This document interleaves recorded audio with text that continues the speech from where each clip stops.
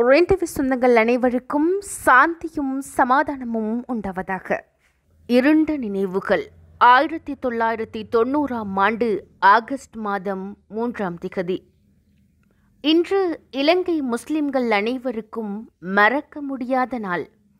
காத்தான்குடி பள்ளிவாயிற் படுகொலை நிகழ்ந்து இன்றுடன் முப்பத்தி ஒரு ஆண்டுகள். இலங்கையில் கிழக்கு மாகாணத்தில் உள்ள காத்தான்குடி மஸ்ஜிதுல் ஜுமா பள்ளிவாயில். முப்பத்தியொரு வருடங்களுக்கு முன்னர் இஷா தொழுகையில் ஈடுபட்டிருந்த முஸ்லிம்கள் மீது தமிழீழ விடுதலை புலிகள் மேற்கொண்ட கொடூர தாக்குதல் சம்பவம் இடம்பெற்றது. ஆயிரத்தி தொள்ளாயிரத்தி தொண்ணூறாம் ஆண்டு ஆகஸ்ட் மாதம் மூன்றாம் திகதி காத்தன்குடி மஸ்ஜிது ஜுமா பள்ளிவாயிலில் இரவு நேரம் இஷா தொழுகையில் ஈடுபட்டிருந்த முஸ்லிம்கள் மீது நடத்தப்பட்ட இந்த தாக்குதலில் முதியவர்கள் சிறுவர்கள் உட்பட நூற்றி மூன்று பேர் பள்ளி வாயிலுக்குள் கொல்லப்பட்டார்கள். நூற்றி நாற்பதிற்கும் மேற்பட்டோர் காயமடைந்தனர். இலங்கையில் உள்ள முஸ்லிம் மக்களிடையே இத்தினம் இன்றும் ஒரு கருப்பு தினமாகவே கருதப்படுகின்ற இந்த நாளை காத்தான்குடி பிரதேச முஸ்லிம்கள் வருடாந்தம் தேசிய ஷஹதாக்கள் தினமாக நினைவு கூர்ந்து அனுஷ்டித்து வருகின்றார்கள்.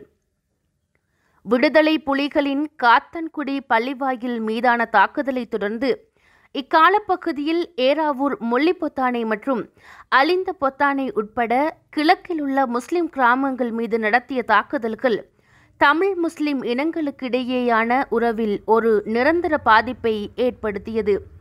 இக்கொடூர சம்பவம் இடம்பெற்ற அன்று வெள்ளிக்கிழமை இரவு புனித இஷா தொழுகைக்கான அதான் சொல்லப்பட்டதும் சிறுவர் பெரியவர் என அனைவரும் பள்ளியினுள் சென்று உலோ செய்து கொண்டு தொழுகைக்காக இமாமின் பின்னால் வரிசையாக நின்று கொண்டிருந்த பொழுது நிராயுதபாணியான இவர்கள் மீது புலிகள் துப்பாக்கி பிரயோகம் செய்து குண்டு தாக்குதலையும் நடத்தினர்.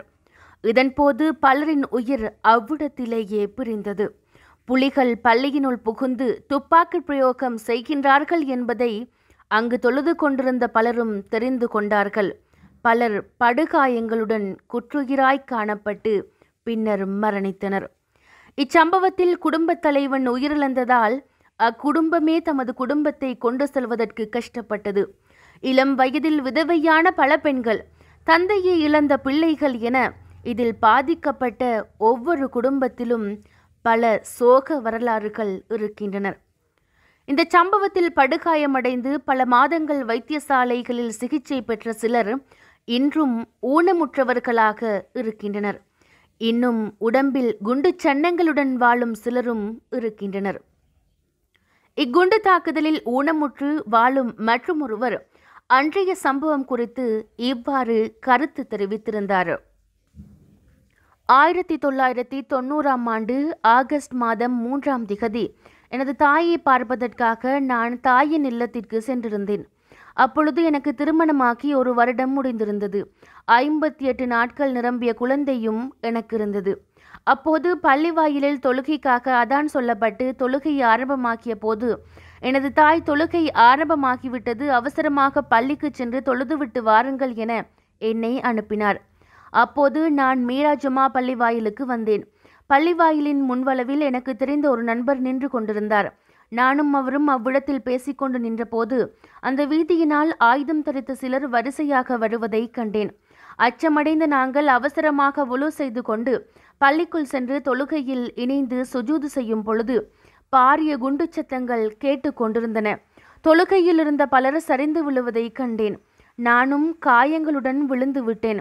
எனது வயிற்று பகுதியில் சிறுவன் ஒருவனும் விழுந்து கிடந்ததை கண்டேன். சில நிமிடங்களின் பின்னர் நான் உட்பட பலத்த காயப்பட்டவர்கள் மட்டக்களப்பு போதனா வைத்தியசாலைக்கு கொண்டு செல்லப்பட்டு அங்கிருந்து அம்பாறை வைத்தியசாலைக்கு கொண்டு செல்லப்பட்டோம். பின்னர் அங்கிருந்து கொழும்பு தேசிய வைத்தியசாலைக்கு மாற்றப்பட்டோம். அங்கு சத்திர சிகிச்சை செய்யப்பட்டு பல மாதங்கள் வைத்தியசாலையிலிருந்து சிகிச்சை பெற்று இன்று ஊனமுற்றவர்களாக வாழ்ந்து வருகிறோம். இந்த சம்பவத்திற்கு முன்னர் சுயமாக தொழிலில் ஈடுபட்டு தொழிலில் முன்னேற்றமாக காணப்பட்ட என்னை போன்றவர்கள் இன்று தொழில் எதுவும் செய்ய முடியாதவர்களாக இருக்கின்றோம் என்று தெரிவித்திருந்தார் அவர். இந்த இரண்டு பள்ளிவாயில்களிலும் இன்றும் அதன் அடையாளங்கள் அழிக்கப்படாமல் இருக்கின்றன. ஆண்டுதோறும் ஆகஸ்ட் மூன்றாம் திகதி ஷஹதாக்கள் தினமாக அனுஷ்டிக்கப்பட்டு வருகின்றது. கடந்த கால யுத்தம் இலங்கையில் தமிழ் சிங்கள முஸ்லிம்கள் என அனைவரையும் பாதிக்கச் செய்துள்ளது. இதில் முஸ்லிம்களும் பாதிக்கப்பட்டுள்ளார்கள் என்பதற்கு இந்த பள்ளி வாயில்களில் இடம்பெற்ற இப்படுகொலை சம்பவமும் ஒரு மிகப்பெரிய சான்றாகும். நிகழ்ச்சியில் உங்கள் அனைவரையும் சந்திக்கும் வரை உங்களிடமிருந்து விடைபெறுகின்றேன். நான் பாத்திமன ஃபஷா